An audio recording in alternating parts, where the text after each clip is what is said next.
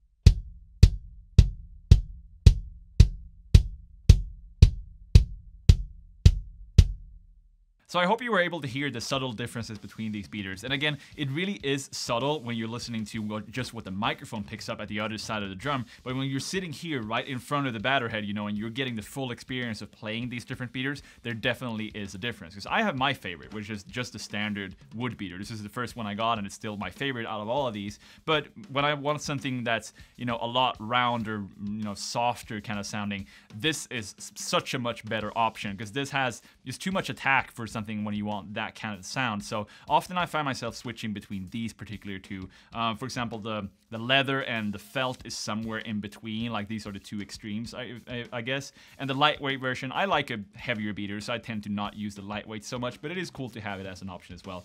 So basically, there's a lot of different options depending on what you're looking for. I'm sure you will be able to find something in these low boy beaters. So uh, I a little while back I asked you guys on Instagram in preparation for making this video if you had any questions you would want to know. Since I have all of these different ones I want to make sure that I let you guys know you know what you want to know from a re review video like this. So I have a couple of questions that I wrote down from you guys. So I want to go through those really really quickly and just give you some short answers to make sure you guys know exactly what you're in for if you're looking to pick up these lowboy beaters. So let's dive in how is the speed and feel influenced by surface, size, and weight? I would say speed is not really influenced by the surface so much as that has more to do with the weight. If you want to play something really fast, like fast double kicks or something, you might want to go for the lightweight beaters. In terms of feel, and like the, the wood beater really has a much more of a smack to it. it. It bounces off the beater in a different way compared to, for example, lamb's wool one. So they all feel slightly different. Basically, if you tend to prefer, you know, usually we know what we tend to prefer. If you tend to prefer felt beaters over wood or something, go with the felt beater. It's probably gonna feel great for you. Why do you use them? I mean, when I picked up the first beater, this one, I was really just looking for a heavy wood beater, and I was seeing these these lowboy beaters guys all over the place on Instagram and everything. So I figured, you know, what the hell? Let's let's give it a try and see what it's all about. And also, like, they're really really cool guys, the people behind the company, and I I really like what they do on Instagram and on social media in general. Like, they really have this kind of family vibe about them. And whenever I can, you know, use products by brands like that, I'm I'm all about it. So I love these these beaters not just for the beaters themselves, but also for the fact that just knowing that I'm supporting something which is a really, really good, just an all around good company with good people that ties the community together. I'm, I'm all about that. Okay, so this question is in Swedish, so I'm gonna read it in Swedish and then in English. So Hur bra skulle klubban med filt på små akustiska gig med en 16 tum eller 18 tum kick? So in English, how good would the beater with a felt on it work for like small acoustic gigs with a 16 inch or 18 inch kick? Uh, I would say if you're going for something like a smaller bass drum like that, and especially like a small acoustic gig, you might want to go for the lightweight beater, and then the surface of it, again, it's just mostly just preference. But if for something jazzier like that, or something smaller, like a small 16 inch bass drum or something, maybe the lamb's wool beater or the felt would probably work really, really well. But in general, probably go for the um, like the the lightweight version. But again, it, like it really just depends. If you want a heavy hitting sound, doesn't matter what the size of your bass drum is, go for the standard size beater and any surface of your preference. And if you want something a little bit lighter, a little bit easier to move and play like soft with, you might want to go for the lightweight beater. I think that's where it what it really comes down to. How do they work in a double pedal setup? Uh, I haven't personally tried in a double pedal setup just because I don't own two of the exact same and also I don't really play double pedal that much, but I can imagine they would work just as well as any other beaters. If you want to play really, really fast, you might want to go for the lightweight ones, but if you want a lot of power, uh, just go for, you know, go for these and hit the bass drum really hard. You're gonna get a lot of powers out of the out of these. Uh, get a lot of power out of your bass drum with two of these on a double pedal. Are they expensive when shipped overseas?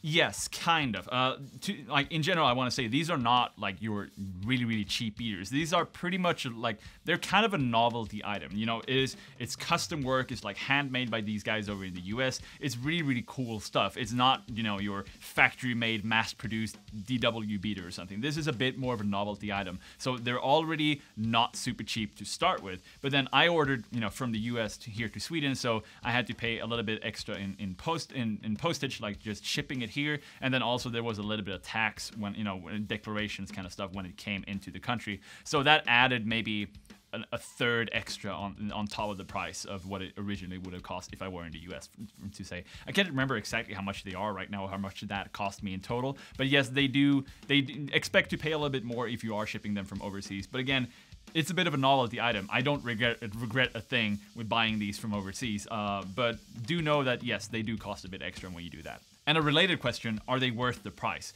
I would say, again, if you're looking for something that's a little bit more of a novelty item and you want something that's pretty special and you want it customized for you and you want to also support a really cool company, all the way they are worth it. But if you're looking for just like a wood beater, doesn't really matter what it is, then there's probably cheaper options for you out there that's not going to be so special, but it's a wood beater. You see what I mean?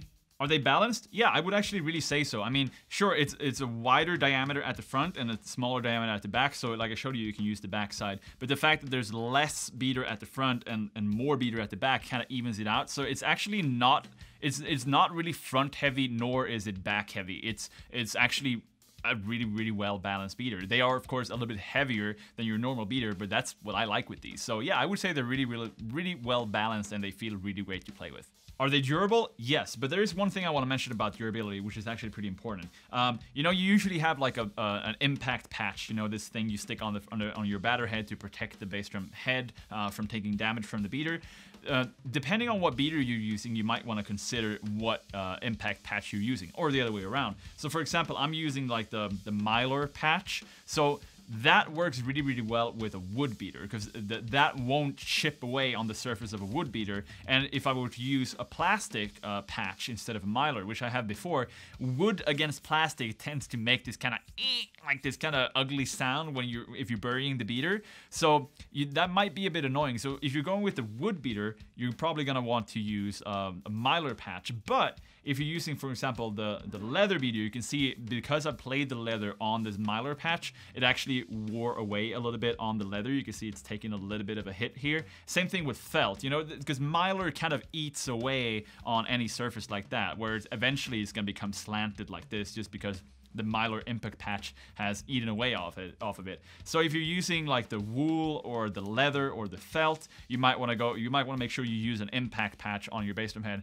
that's made from plastic. And again, if you're using the wood, uh, just a straight up wood beater, you might want to go for Mylar. So just something to keep in mind if you really want to uh, make sure that they have a really long, uh, a really long lifespan. These beaters, uh, consider what patch you're using. But even then, they're still really, really durable beaters. These are not gonna snap or break on you. They they really hold up well. How heavy are they and do they harm your heads? So these are probably, I mean, it's been a long time since I played any other beater, but I would say they are probably a little bit on the heavier side, which again is what I like in a bass drum beater. I like a lot of impact, uh, but they don't actually really harm your head. So again, if you're using uh, any impact patch, preferably one that works well with the beater, you're not gonna break your heads. I've been playing, like I hit pretty hard on my bass drum. I play, you know, every single day pretty much on this kit, and I've been using the same head since the start of this year. So what's that, like nine months, eight eight month, eight or nine months or something. I've been using the same head and I've been beating the hell out of it, and it's still it hasn't give up on me. It's been a long time since I broke a bass drum head, never with any of these beaters. So uh, I mean, they don't really harm your head. So I mean, I don't think really any beater actually harms your head as long as you're just using an impact patch and maybe not beating the ever living shit out of it. So yeah, I'd say I'd say they hold up really well. Uh, your bass drum head is going to hold up really well, and the beaters feel really great. They are on the heavier side, which I love. They feel really, really great.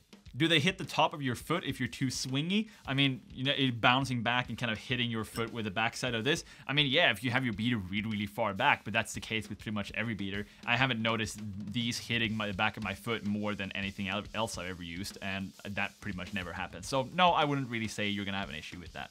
Are they good for light playing, for example, jazz? Yeah, I mean, the lightweight version is pretty light, actually. It's very, very easily maneuverable. So something like this would really work well for jazz. But even the heavy ones, I mean, at, at the end of the day, it just comes down to your foot technique.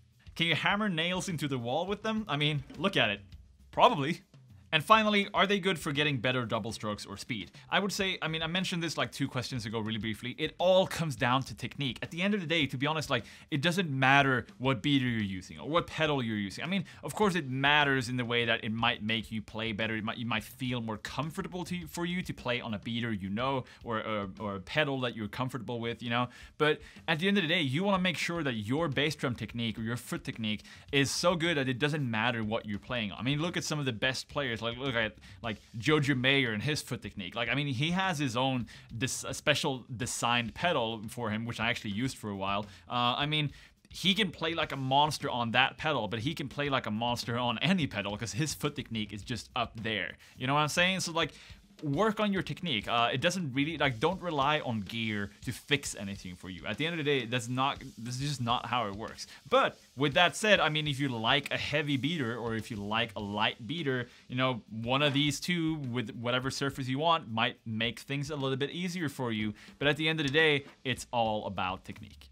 So that will be the end of this video. I hope you guys enjoyed it. If there are any more questions you have, anything else I missed to talk about in terms of these beaters, let me know in the comments below. I'll be happy to answer. And make sure to subscribe if you haven't already. And I will see you guys soon with some more videos. Take care.